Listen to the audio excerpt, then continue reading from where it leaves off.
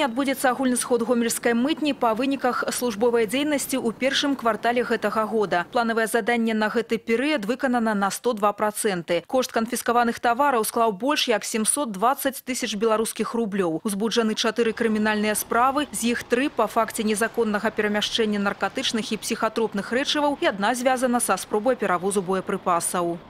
Гаспадаркі гомельскай вобласці распачалі выбарачную сяўбу кукурузы. Адпаведныя работы вядуць сельскагаспадарчыя прадпрыемствы шасці раёнаў. На сёння кукуруза пасеяна на плошчы ледзь болей за 4 тысячы гектараў, што складае каля 1% да плана. У сувязі з замаразкамі, якія сіноптыкі прагназуюць на працягу бліжэйшага тыдня, масавая сяўба кукурузы распачнецца пасля 23 красавіка.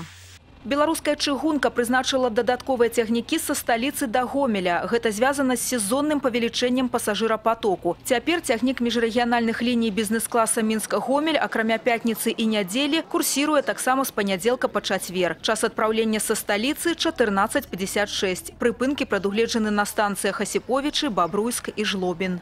У рэгіёне стартавала штогадовая акцыя гомельшчына за здаровы лад жыцця. Сёлета яна накіравана на прафілактыку хвароб сістэмы кровазвароту. Гэтыя захворванні лідзіруюць сярод прычын смяротнасці ў эканамічна развітых краінах. Сярод асноўных фактараў рызыкі некаторыя, напрыклад, спадчыннасці ўзрост не паддаюцца змяненню, аднак на большасць іншых можна паўплываць. Неабходна змена звычак і ладу жыцця. У першую чаргу небяспеку прадстаўляюць курэнне, ужыванне алкагольных напояў, маларухомы лад жыцця, за лішняя маса цела. Дарэчы, у рамках акцыі гомельшчына за здаровы лад жыцця 21 красавіка медыкі прапануюць вымераць артэрыяльны ціск і атрымаць рэкамендацыі пры артэрыяльнай гіпертэнзіі. Прафілактычную акцыю ў буйным гандлёвым аб'екце па вуліцы Хатаевіча правядуць спецыялісты гомельскага гарадскога цэнтра гігіены і эпідэміялогіі цэнтральнай гарадской паліклінікі, а таксама валанцёры медыцынскага каледжа.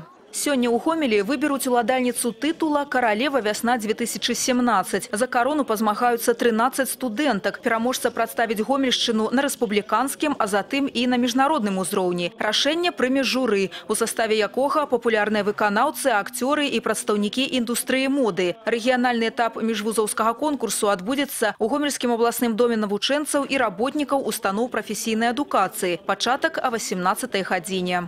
Дарэчы, сёння на тэлеканале Беларусь-4 вядучыя і госці праграмы «Добры вечар, Гомель» будуць размаўляць пра прыгажосць. Чаму матулі так спяшаюцца адправіць дзіця на подыум? Як міс Рэчыца плануе заваёўваць сусвет? Што адбываецца пасля конкурсаў прыгажосці і дзе працуюць беларускія мадэлі? У прамым эфіры ў студыі праграмы першыя прыгажуні падзеляцца таямніцамі мадэльнага закулісся. Глядзіце праграму «Добры вечар, Гомель» сёння ў 20.40 на тэлеканале Беларусь-4. Тэлефануйце ў студыю па нумары 37 сямёркі 519. Сёння а 18 гадзіне ў гарадскім цэнтры культуры адбудзецца ўрачыстае адкрыццё 14 велікоднага фестывалю. У цырымоніі прыме ўдзел епіскап гомельскі і жлобінскі сцяфан. Увогуле фестываль будзе доўжыцца месяц. За гэты час пройдуць дабрачынныя акцыі, фотавыставы, канцэртныя праграмы, творчыя майстэрні, а таксама паломніцкія паездкі і экскурсіі да культурна-гістарычных помнікаў і праваслаўных святыняў. Усяго пройдзе больш за сотню духоўных і культурна-асветніцкіх мерапрыемстваў.